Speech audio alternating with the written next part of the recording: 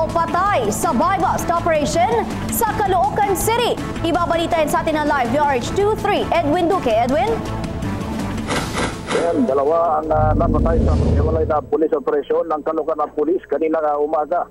Ayon kay Senior Superintendent Johnson Almasan, head ng Caloocan Police, unang napatay si Ricky Amat at uh, sa barangay 13 Caloocan matapos magsagawa ng palap operation ng Caloocan Police sa isang sumbong umano mula sa Rescue 911 na talamak pa umano ang bentahan ng Cebu sa lugar.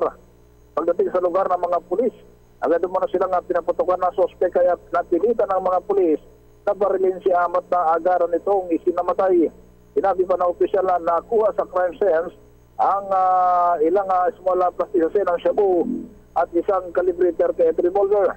Pinaghahanap naman ngayon ang uh, live-in partner ni Amat na si Ro- Roba. Napatay din naman ng uh, pulis sa barangay 18 ang isang nagngangalang Precious Galang alias Perry. Uh, ikinasang by bus operation din ng uh, Kalugan Police. Dagdag ng opisyal, nakuha pang uh, tumakbo ni Galang at pumasok sa loob ng kanilang uh, bahay. Pero nasukol ito ng mga pulis at doon na ito napatay.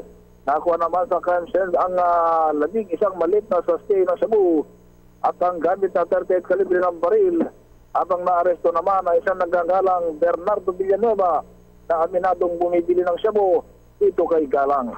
Yan ang report mula sa kalokan niya ng DCRS News RS23. Edwin Duque naglilingkod sa pagbabalita. Maraming salamat nagbabalita ng live si Archa 23, Edwin Duque.